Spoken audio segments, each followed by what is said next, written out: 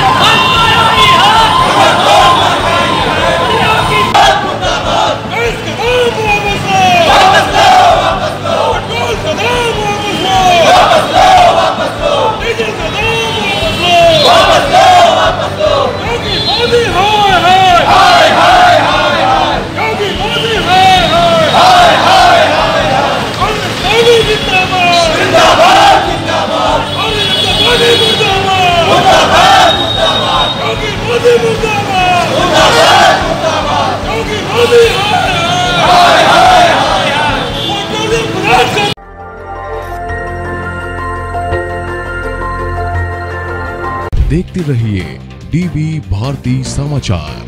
नज़र हर खबर पर।